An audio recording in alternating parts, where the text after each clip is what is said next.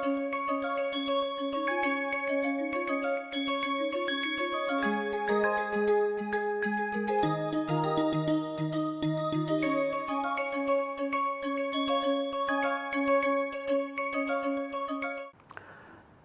and uh, welcome to today's class. Uh, I hope you could go through what I discussed uh, in the last class, uh, but we will have a brief recap of the last lecture uh, today before we look at the other aspects of asymmetric CC bond formation.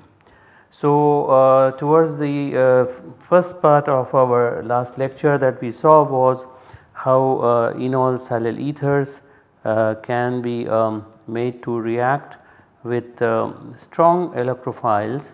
Uh, we need uh, strong electrophiles such as E plus is a carbocation or for example as we discussed towards the end we can have um, a CH2Cl and generate uh, upon reaction with Lewis acid say for example SnCl4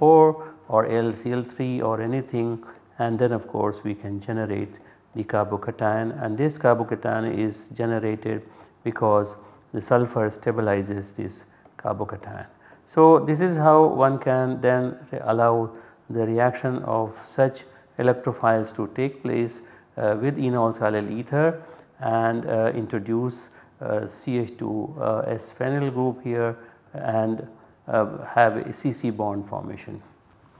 Now uh, this is possible because um, the electrophile is very strong, uh, but as a general uh, rule enol silyl ethers are not very strong nucleophiles they are weak nucleophiles and therefore we need to have a strong electrophile to react with it. We, we saw various aspects of it and saw even how a tertiary cation can be allowed to react with these enol silyl ethers and we can get the uh, ketones having a tertiary butyl group uh, alpha to it which is not easy to uh, introduce uh, by traditional means. So, enol silyl ether is a is a good option to go for such um, reactions, uh, but then there are disadvantages as we discussed that uh,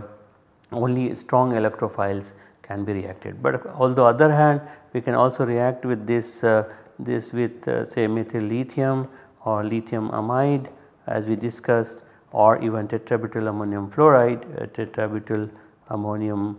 uh, fluoride and then we can generate the corresponding enolate upon the, when these, these particular nucleophiles any one of them this or this or this then they react with the, the carbon silicon bond is broken and the enolate is generated. Now so enol silyl ether can be made uh, reactive and as a reactive nucleophile or an enolate upon reaction with say uh, these species like methyl lithium or lithium amide or tetrabutyl ammonium fluoride. And then we saw the uh, chemistry of imine. Uh, so we had uh, uh, something like this where we had uh, an imine where this particular proton alpha to the imine group can be deprotonated and we can generate an enamine uh, of this type where we can write the resonance structure as as this and uh, what it indicates is that the uh, M plus which is what is going to come from base uh, so, there has to be an M plus here there has to be an M plus here as a counter cation. This counter cation will remain close to the negative charge on the nitrogen because it is more electronegative and then this allows the CC bond formation to take place. Then uh, we also saw the uh, other aspects of it uh, where the imine chemistry was done with chiral uh, amines. And in with chiral amines we saw how asymmetric induction uh, via CC bond formation can be done. And in the process we also introduced SAMP and RAMP as two uh, uh,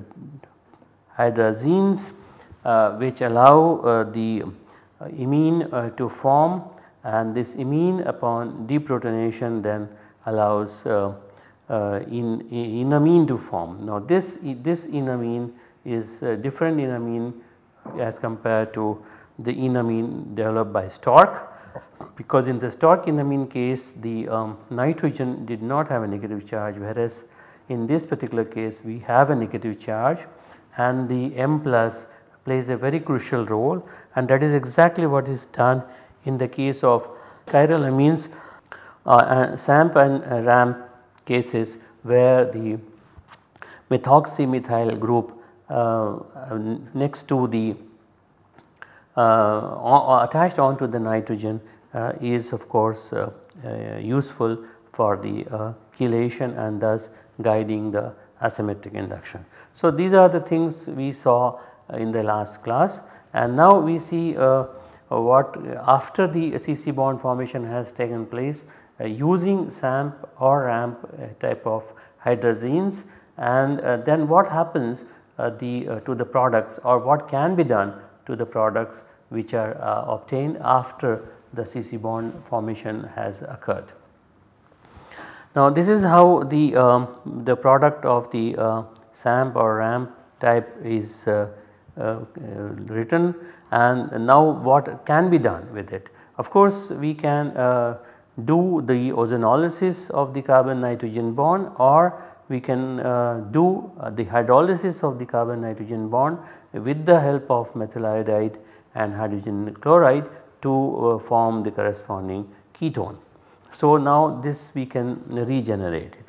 On the other hand uh, we can directly react with uh, uh, this uh, dithiol to prepare the dithiane like this in the presence of BF3 etherate. So uh, without hydrolyzing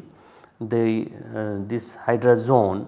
to the ketone and then reacting with this dithiol in the presence of a Lewis acid uh, to get this. We can directly react this uh, hydrazone itself because then the carbon nitrogen bond acts like a, a leaving group. So, it is very similar in terms of its reactivity uh, to, to, to, like a carbonyl group and therefore we can uh, prepare the dithiane uh, this is 1,3 dithiane uh, in, a, in the in the same pot. Now we can also reduce the uh, carbon nitrogen double bond first with lithium aluminum hydride to go to the corresponding amine and then when we do the raney nickel uh, based reduction then of course we have a nitrogen nitrogen uh, bond cleavage and that leads to the formation of uh, if R1 is H otherwise there should be R1 here and then of course we get to the corresponding uh, amine. So, we have this particular reduction leading to amine. So, we can get to a ketone or we can prepare a protected ketone as a dithiane and um, or we can go to the corresponding amine. Now, if R1 is H uh, is H then we can expect uh, uh, this type of uh, intermediate product to form which upon reaction with uh, uh, per acid uh, like this. So, we have R3 here and R2 here and we have a hydrogen here.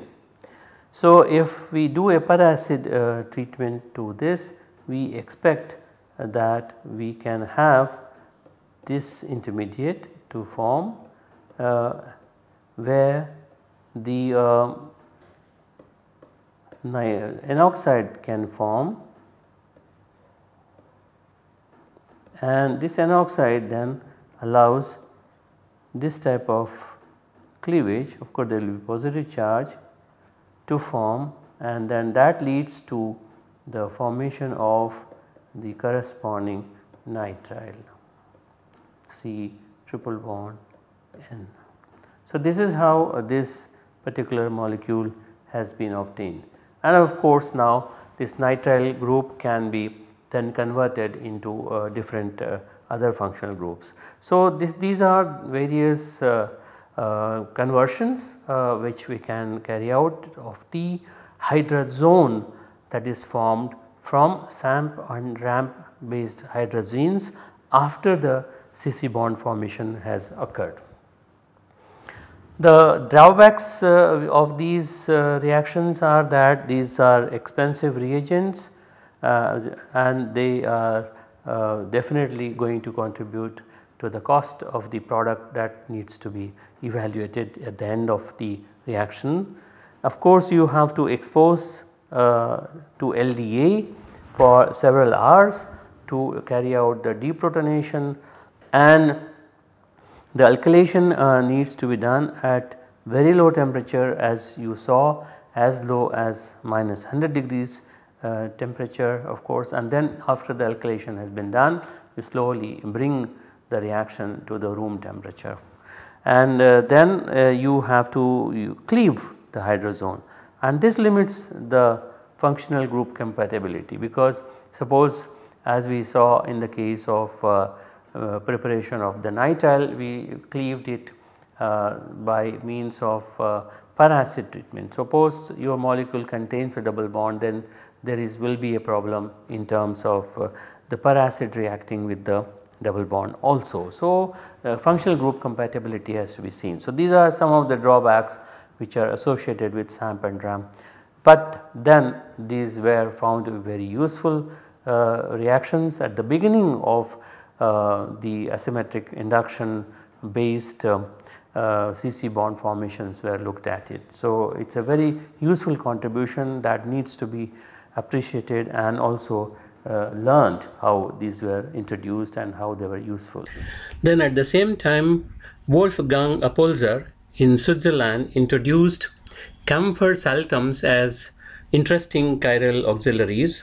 the camphor sultams look like this which is 1s minus 210 camphor sultam or like this which is 1r plus 210 camphor sultam. Now these are derived from uh, camphor which is a naturally occurring molecule.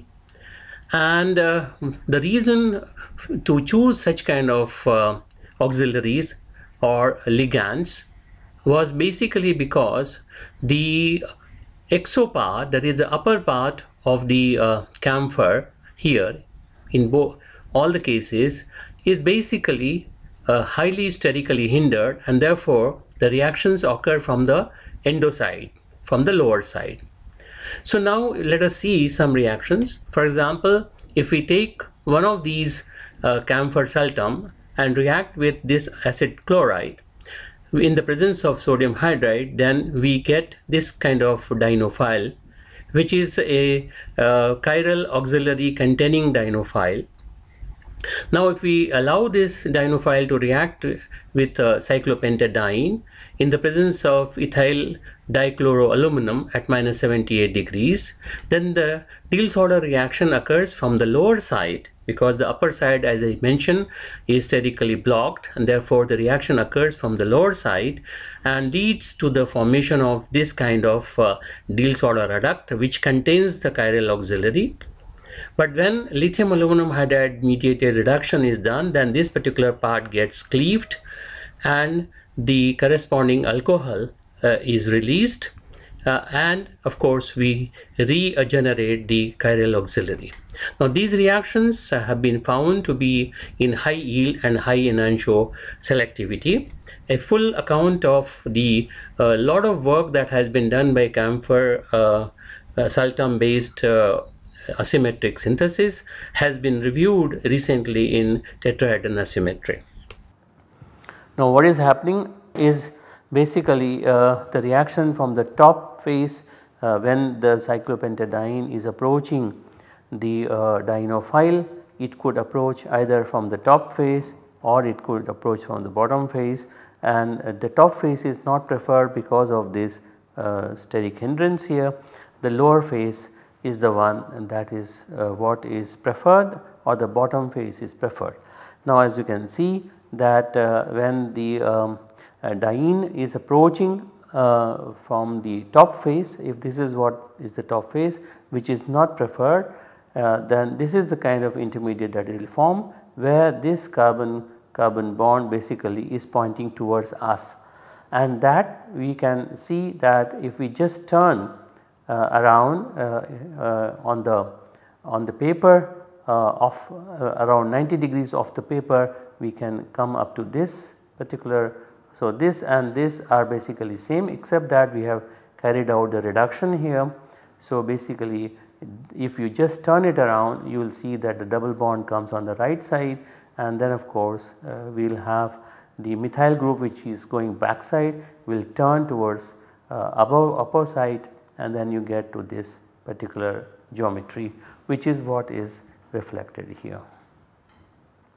On the other hand when the reaction take place from the bottom phase then this is the intermediate that is going to form and which again by, by simply twisting uh, or turning uh, not breaking any bonds twisting appears like this. So, this particular product and these are basically uh, as you can see they are mirror images of each other and thus if we uh, see that there is a facial selectivity. So, if the Diels-Alder reaction is uh, allowing a discrimination of the phase therefore, this product is going to form uh, exclusively. This is also reflected in another example in which if we take uh, this type of uh, group attached to the uh, ligand then uh, we are uh, favoring it to, to put it in this particular fashion but we can also think about another way of attaching. So basically this is coming from say you have a acid chloride and then we have this group here and to which the, uh, the ligand or the auxiliary is attached. So When the nitrogen based auxiliary attaches it attachment takes place here and we can either write it in this fashion or we can write it in this fashion. This is the one that is more preferred because for for the reason that uh, on the top face is going to be sterically hindered and uh, this particular one is not sterically hindered and therefore the carbonyl group orients in this fashion to which the, uh, the cuprate then attacks onto this carbon and then this goes as a leaving group leading to the formation of this uh, uh, auxiliary contained intermediate which uh, of course can be reduced with um, lithium aluminum hydride. And uh, then once we get the corresponding uh, CH2OH after this uh, uh, path is reduced the amide part is reduced we can carry out the Swern oxidation and eventually to form this beta gamma unsaturated aldehyde having a CC bond formed here by the cuprate that we have added. So, uh, the reaction is obviously taking place from the alpha side. So, the attack is taking place uh, from the alpha side that is the reason why this alpha group has come because the lower side is relatively sterically less bulky. So, if we if we take uh, this uh, this is the one that we took where the alpha attack was taking place from this side and uh, if we take its uh, mirror image which is what is this particular one. So, if we write the same one as uh, here. So, this is going to be its mirror image and that is what is shown here. So, if we take this its mirror image even then again the alpha attack will take place because alpha attack is more preferable because this side attack is sterically blocked and therefore uh, again alpha attack will give this uh, uh, methyl group to be formed from the alpha side but then if we just turn it around 180 degrees then of course this becomes uh, beta oriented which will upon uh, reduction and oxidation will give a product like this. So, from this we had got this product and from this particular uh, mirror image we have got this product here. So, this leads to the uh, product having beta oriented methyl group whereas here it is alpha oriented. So, there are two enantiomers of each other. So, we can um, carry out such CC bond formations uh, by two different types of uh, camphor sultam based uh, dienophiles or uh, Michael acceptors or starting materials which would allow uh, SN2 prime of reaction to take place. It is essentially an SN2 prime type of reaction that is taking place and we can get two different types of enantiomers in very high enantioselectivity and high yield. Now we go uh, to the next uh, set of reactions which is uh, basically an aldol type of reaction. So if we uh, start with an aldehyde and react with a with a ketone uh, of uh, any kind then what we can expect that if the aldehyde does not have an alpha hydrogen. So suppose we have a benzaldehyde then what we can expect is that an ion can form here and then we can expect a syn uh, product to form or an anti product to form. So, uh, right now we have not taken any uh, base or any uh, product which has any uh, uh, elements of symmetry or asymmetry. So, what we are doing right now is we are producing this syn diol or the anti diol as racemic. So, basically they are from uh, forming racemic products, but now right now we are thinking about uh, diastereomers. So, we can expect either this syn product which is called as erythro product or anti product which is called threo product generally is something that we need we can form. So, if we carry out this uh, aldol reaction uh, basically uh, it will form this mixture where from syn or anti aldols need to be separated. Now is there a way by which uh, we can control these reactions and uh, uh, get only one of them as the major product because we will have to eventually see how they can be done as an asymmetric aldol reaction.